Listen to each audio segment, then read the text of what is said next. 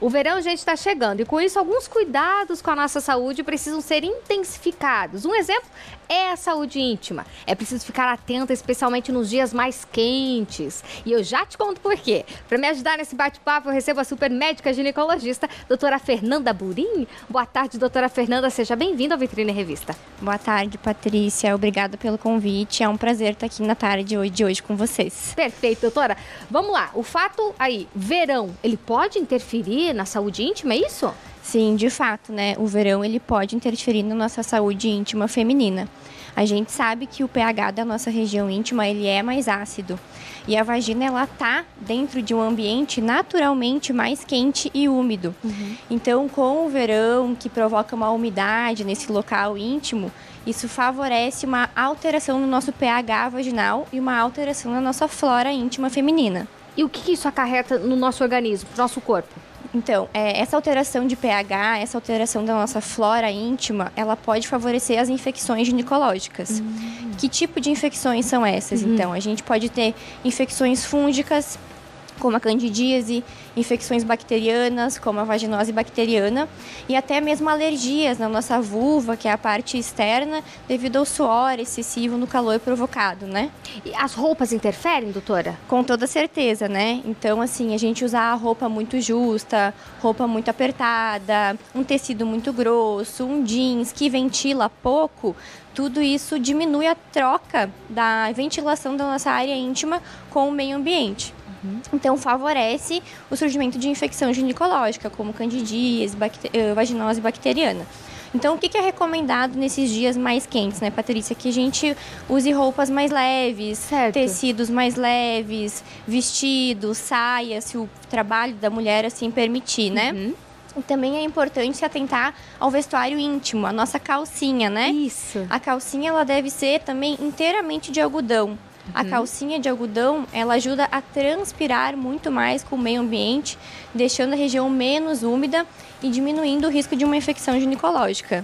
Em relação, por exemplo, ao absorvente, né? Quando a mulher está menstruada, geralmente ela usa o absorvente. Ele também pode interferir nesses dias de calor, doutora? Com certeza, né? Na verdade, o absorvente ele pode causar uma infecção ginecológica até mesmo no inverno. Ah. Imagina no verão, né? Porque a gente está colocando lá um absorvente, uma calcinha e uma calça. Então a gente está abafando mais ainda a nossa região íntima. Então o que, que a gente orienta as pacientes, né? O protetor íntimo, por exemplo. Muitas mulheres gostam de usar o protetor, protetor íntimo diariamente. Isso não deve ser feito. Uhum. O protetor íntimo ele abafa muito a nossa região íntima, então ele favorece o surgimento de infecções ginecológicas. Uh, muitas mulheres se queixam para mim, é, ah, doutora, eu não consigo ficar o dia inteiro com a calcinha tá sempre úmida, com aquele corrimento, né? Que é o corrimento normal, fisiológico que a gente tem. Então, o que, que eu oriento? Leve uma, duas calcinhas extras na bolsa e vá trocando de calcinha ao longo do dia. Ah. Não coloque o protetor é, íntimo. O protetor íntimo, ele é só para fim de menstruação mesmo. Uhum. Mas vamos lá, se a mulher tá menstruada, né? Não tem o que fazer. Uhum. Precisa usar absorvente. Então, o que, que a gente orienta? Que a troca, ela seja mais frequente. Então, que, que a troca do absorvente, aquele mais convencional, externo, seja feita a cada três horas, por exemplo. Tudo isso para minimizar o calor, a umidade na região e diminuir as chances de uma infecção ginecológica. Quando a gente fala, por exemplo, da parte de higiene, de lavar, por exemplo, essa calcinha, né, essas roupas dessa mulher, também tem que tomar cuidado em relação a isso, doutora? Com certeza, né? Então, é, eu costumo dizer que a nossa área íntima, ela é uma área sensível e delicada. Então, o produto para higiene, tanto das calcinhas quanto íntimo, uhum. também tem que ser na mesma linha. Então, é o ideal que a gente use produtos neutros, como, por exemplo, um sabão líquido de coco, um sabão glicerinado, um sabão em barra de coco, nada com muito perfume. A nossa região íntima ela não foi feita para receber nenhum tipo de perfume. Uhum. Tudo isso vai ajudar a prevenir uma infecção. Muitas mulheres me perguntam também se é possível lavar a calcinha no chuveiro durante o banho, né? Uhum. E pode, não tem problema nenhum, desde que seja lavado também com sabonetes é, hipoalergênicos, neutros, que não tenham muito perfume para não causar nenhuma alergia. Uhum. Se atentar bastante quando for lavar, a, na secagem, na verdade, né? Certo. Então a gente tem que deixar secar essa calcinha num ambiente bem arejado, bem ventilado. Por quê? O fungo, a bactéria, ele gosta de lugar quente e úmido. Então, lavou com esses produtos neutros, sem perfume, de preferência não usar amaciantes, né? Deixar secando na área de serviço, um lugar bem ventilado, onde bata sol de preferência. Ou lavou durante o banho não tem problema. Mas também não deixe em hipótese alguma a calcinha no box. O banheiro é um lugar quente, úmido, favorece o surgimento de infecções ginecológicas. E o mesmo é válido para é, a higiene íntima da mulher, né? Uhum. Então, assim, o uso de é, sabonetes íntimos. O que acontece? Como eu falei, a região íntima é delicada, ela é sensível. E muitos sabonetes íntimos têm perfume. Uhum. E esse perfume ele pode agredir a região íntima feminina e causar uma infecção ginecológica. Uhum. Então, o que, que eu oriento? Que a gente opte por sabonetes líquidos, aqueles glicerinados de bebê, porque eles são neutros, eles não interferem no pH íntimo da mulher eles mantêm a nossa flora da forma como está. Entendi. E daí na, na, parte, por exemplo, da secagem ali da área, né? Muitas mulheres têm depilação total, digamos assim, uhum. assim, mas muitas ainda possuem pelos pubianos uhum. ali, né? Uhum. Naquela região.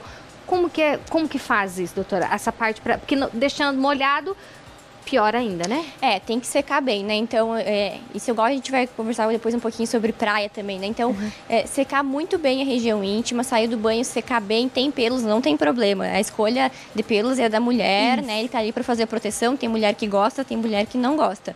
Então, saiu do banho, secar bem, quando tiver bem seco, daí os pelos, daí sim pode vestir a calcinha. Isso, já entrando então na parte de praia, muitas vão viajar, aproveitar a piscina também, enfim, aí fica com biquíni, às vezes fica molhado, não é recomendado. Não, não é recomendado, né? Pelo mesmo motivo que a gente vem conversando. Então, deixar a área íntima úmida, abafada, favorece o surgimento de infecção. Então, é bem comum, muitas mulheres vão para a praia, vão para a piscina e voltam com candidíase, né? Então, assim, é, o ideal seria a gente poder trocar de biquíni, mas é, às vezes não tem como, tá na praia, Sim. não consegue trocar. Então, saiu do mar, saiu da piscina, secar ao máximo o biquíni, né, com uma toalha, enxugar, ficar um pouquinho no sol para secar a parte de baixo e daí, assim, né, curtir a praia. É, tem que se atentar também a, ao risco aumentado de infecção urinária, né, que a gente tem no verão, na praia. A gente acaba negligenciando um pouco a ingesta hídrica, toma menos água, segura o xixi mais, uhum. né? Às vezes porque não tem muito acesso ao banheiro, então fica lá com vontade de fazer xixi e não vai.